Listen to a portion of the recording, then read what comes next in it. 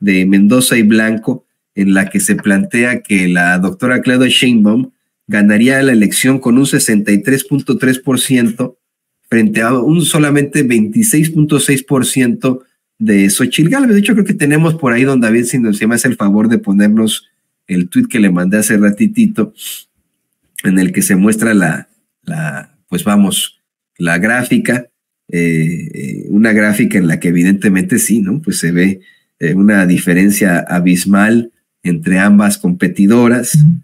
se lo mandé hace ratitito, ya hace un buen rato, lo mandé, lo mandé al, al, al, al chat normal de sin censura eh, pero le voy, le voy explicando cómo está este estudio, eh, muy, muy importante.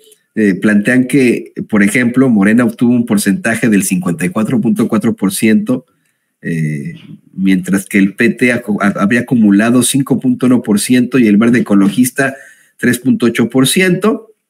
Se habla también de cómo es que Samuel García todavía se le considera, tendría un 10.1% eh, en estas circunstancias. Bien, se lo mandé, eh, ahorita le voy a decir a qué hora lo mandé, eh, desde tempranito, a ver, a las 5.34 de la mañana, ese, muchas gracias. Gracias, don David, ahí está. ahí están las, pues, las mediciones, miren, 63.3%, si fuera la elección para presidente, de la República, ¿por quién votaría? 63.3% votarían por la doctora Claudia Sheinbaum, el 26.6% por Xochitl Galvez. Todavía se toma en consideración a Samuel García, un 10.1%, o bien, en todo lo general, a un movimiento ciudadano 10.1%, que iba creciendo y aumentando las preferencias y se planteaba que eh, de pronto podría en todo caso enfrentarse directamente con Xochitl Galvez hasta quitarle el segundo lugar. En otras encuestas ya había quedado eh, eh, Samuel García con esta ventaja muy, muy, muy clara ahí. Y pues bueno, mientras tanto, bueno, pues Xochitl Galvez salió ahí a decir que a exigirle al presidente López Obrador que deje de meterse en las elecciones. Yo no sé cómo se está metiendo López Obrador en las elecciones, pero eso es lo que dice Xochitl Gálvez. Vamos a poner, si nos lo permite don David, eh, estas declaraciones infames de esta señora a la que le encanta la payasada, eh, Xochitl Gálvez, pues asegura que el presidente se sigue metiendo en las elecciones.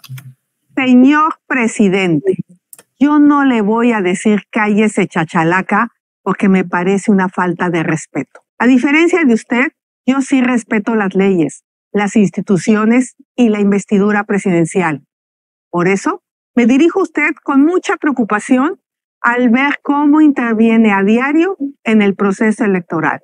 Aquí le enumero las cinco T's. Uno, tome a la Constitución en serio como la ley suprema que prometió cumplir. Dos, trate al Tribunal Electoral como un organismo del Poder Judicial y respete la división de poderes. Tres, tolere la voluntad de los ciudadanos que piensan distinto a usted. Cuatro, tranquilice sus ansias de meterse en las campañas. Cinco, trabaje de presidente y no de jefe de campaña de su precandidata. Usted se quejó muchos años que le hacían trampa. Entonces, no haga trampa, presidente. Usted sabe que va a perder porque abandonó a los mexicanos. Le exijo se ponga a trabajar. Los mexicanos se lo van a agradecer. Los mexicanos merecen más. es que ya está, pero de verdad de tristeza, de pena ajena. Antes, mira, era, mira, era, hasta cierto punto eh, eh, y de alguna otra forma una circunstancia eh, que causaba hasta indignación, ¿no? Escuchar a Xochitl Gálvez hacer, estas, hacer estos planteamientos mentirosos y así, ¿no? Ahora es de vergüenza ajena, de pena ajena, es eh, de tristeza, pues eh, cómo es que no levanta para nada esa campaña y que busca de todas formas, de alguna otra circunstancia, llamar la atención.